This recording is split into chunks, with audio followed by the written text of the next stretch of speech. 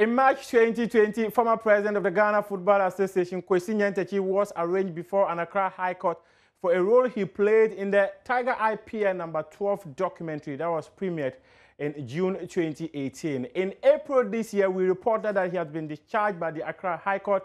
However, the state decided to go to a different court to have the case heard all over again.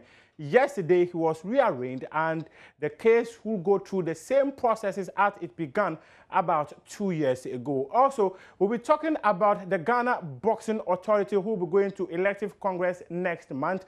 One person who is hopeful of succeeding Peter Zwennes as its president, Manley Spain, has donated to the Black Bombers team as they continue their preparations for the Tokyo Olympic Games. And also in the Euros, the three Lions have defeated Germany and made it to the quarterfinal of the competition. Also, Ukraine were also part of the countries that have made it to the last eight of that tournament. I am Muftau Nabila Abdullahi, and this is AM Sports on the AM show. Let's start with the story that has to do with number 12, the most running story since 2018. And former president of the Ghana Football Association, Kwesi Nyantakyi, has been rearranged before the Accra High Court after he was discharged earlier this year.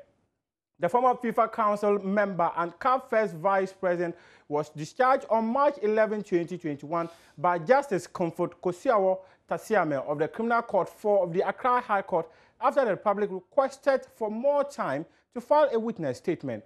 The judge rejected the request of the public on the grounds that the case has been before the court for a year without a witness statement being filed despite the consistent adjournment. She said the prosecution has a whole state apparatus behind her to file a statement without the continuous back and forth. Justice Comfort also added that justice delayed, they say, is justice denied.